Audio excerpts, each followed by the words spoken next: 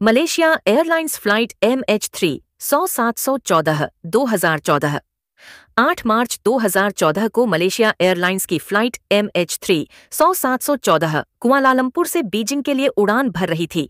उड़ान भरने के कुछ ही समय बाद विमान का रडार से संपर्क टूट गया। इस विमान में दो सौ उनतालीस लोग सफ़र कर रहे थे। फ़्लाइट का कोई पता नहीं चल सका और आज तक यह एक रहस्यमय घटना बनी हुई है। कई देशों ने समुद्र में इसे ढूँढने की कोशिश की लेकिन सिर्फ़ कुछ छोटे टुकड़े ही मिल पाए। यह दुर्घटना एक बड़ी पहेली बनी हुई है, क्योंकि विमान का सिग्नल अचानक रडार से गायब हो गया था। इस घटना ने पूरी दुनिया के लोगों को हिलाकर रख दिया और परिवारों के लिए यह कभी न खत्म होने वाला इंतज़ार बन गया, क्योंकि उन्हें आज तक अपने प्रियजनों का कोई ठोस जवाब नहीं मिल सका।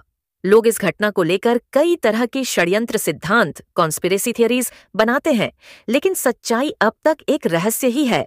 यह दुर्घटना कैसे और कहाँ हुई, यह समझ पाना बहुत कठिन है, क्योंकि इसका कोई ठोस सबूत नहीं मिल पाया। लेकिन एक अनुमान यह है कि विमान समुद्र के ऊपर किसी तकनीकी खराबी के कारण दुर्घटनाग्रस्त हुआ होगा। इस फ़्लाइट दुर्घटना का ज़िक्र करते समय लोगों का दुख और तनाव बहुत गहरा महसूस होता है, क्योंकि यह घटना न केवल यात्रियों, बल्कि उनके परिवारों के लिए भी एक दर्दनाक पहेली बन चुकी है।